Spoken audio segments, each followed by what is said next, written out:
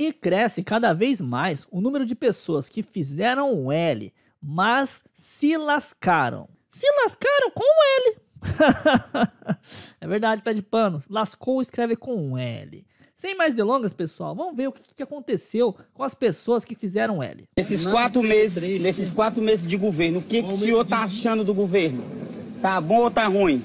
O que foi de bom? Ei, peraí, vou dar um tapa na sua cara agora. O que foi de bom que Bolsonaro fez? Lhe deu auxílio durante mais de dois anos que o senhor achou bom, que todo dia, todo mêsinho o senhor tava lá na Caixa Econômica recebendo. Claro. Não foi? Foi. Aí foi cortado, não foi depois que o Lula entrou? Não cortaram seu auxílio? Responda, homem. Responda, homem. Na hora de responder, ele ficou.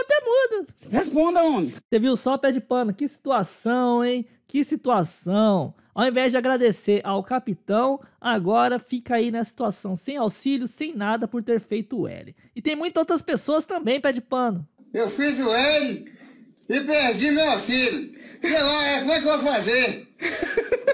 Eu não tenho como, né, gente? Como é que gente? Como é que você não vai me ajudar, né, gente? Faz o L de novo. É. Livre, não dá pra gente reclamar, é isso que tem. Agora vai ter que trabalhar. Não! É, mas e você que assiste esse vídeo? Qual a sua opinião sobre tudo isso? Deixe sua opinião nos comentários, quero saber. Então é muito importante você se inscrever aqui no canal para mais vídeos como este aqui. Muito obrigado e até o próximo vídeo. Acabou!